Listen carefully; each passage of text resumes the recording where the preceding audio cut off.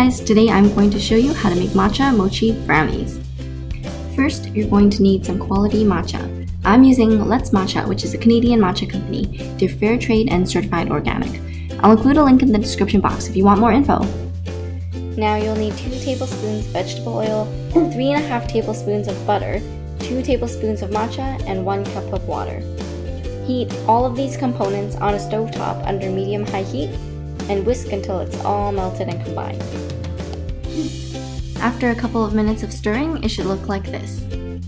Now in a separate bowl, measure out two and a quarter cup of mochi flour, also called glutinous rice flour. You can find them at most oriental supermarkets. Now with this flour, it's not necessary to sift it, but you can if you'd like. Now add the sugar, baking soda, salt,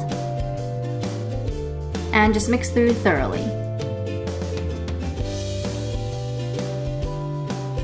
Now pour in the liquid mixture and just lightly stir it around until it kind of looks like this. Now you'll want to crack in two eggs and add a dash of vanilla extract. And stir, stir, stir. Once the eggs are combined, it'll look a lot smoother like this. Now I'm using Trader Joe's coconut oil spray to grease the pan, but you can use whatever you want.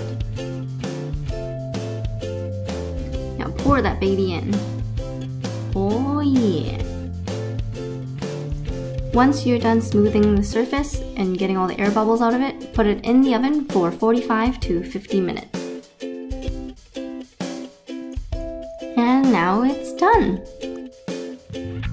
Give it a few minutes to cool on a cooling rack and now you can cut into this deliciousness. Oh yeah, listen to that crunch. By the way, one way to prevent your knife from sticking to the brownie is to run it under hot water after every cut.